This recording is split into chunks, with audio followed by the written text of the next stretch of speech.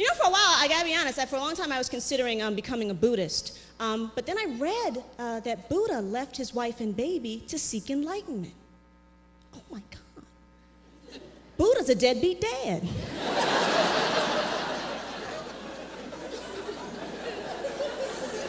I mean, that's why you only hear about the second coming of Christ. Buddha ain't coming. He'd have to pay 1,500 years worth of that child support. He ain't coming.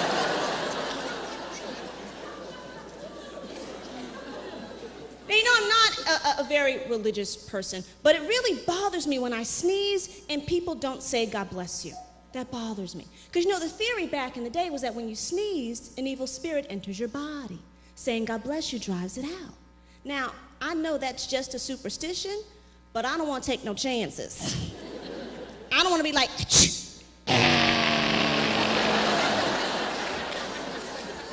catch a cold, need an exorcism. That ain't right.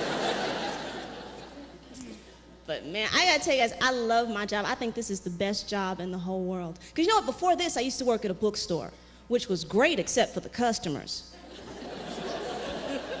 you know, asking me questions while I'm trying to read. Excuse me.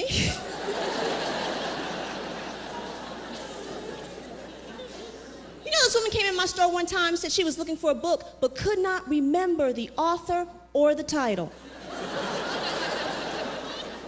but said the cover was blue. I was like, oh that book. We sold out.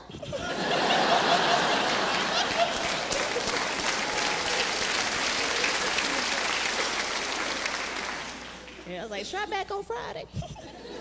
I quit on Thursday. I do love to read, though. I really do. You know what I'm saying? If books were illegal, you guys, I'd be in jail. And I'd have to get all hardcore about it, too. You know, get a tattoo of my favorite book, Harry Potter. What, what? Love Harry Potter. You know, I am surprised, though. Sometimes I meet people who are not fans of the book, which surprises me. I was reading the first book, and this woman came up to me, kind of got in my face. She was like, You know, Harry Potter is a plot to corrupt children into believing in magic and worshiping the devil. I was like, whoa. Somebody needs to cut back on her caffeine. because that's a little crazy to me, because when I was a little kid, I didn't read Alice in Wonderland, think I was gonna fall down a rabbit hole, meet an invisible talking cat, right? You don't get that from reading a book. You get that from dropping acid.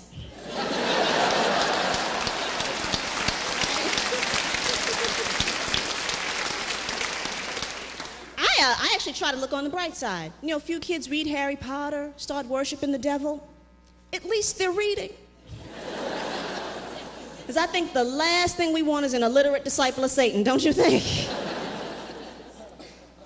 was, I was actually sharing that story with someone recently, and she actually said to me, she goes, Oh my God, Leighann, you read Harry Potter? How white are you? What?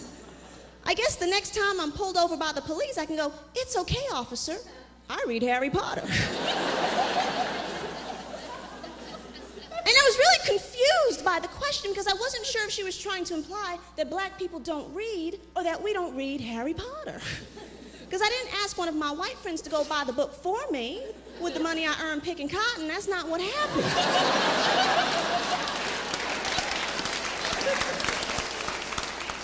I guess for some people it's not enough that I am black, I have to act black too, which is kind of weird, because honestly, I, I thought Eminem was acting black enough for all of us.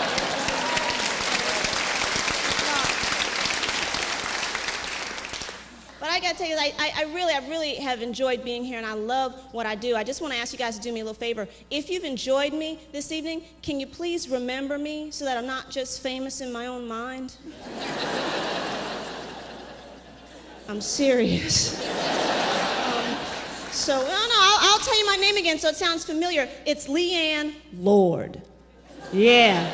Lord L O R D. That's a wonderful name to have, isn't it? Because right off the bat, you know I got connections. Whenever anybody tries to mess with me, I'm like, excuse me? My name is Leighann Lord. I think you know my father. You guys, thank you so much. I'm Leighann Lord.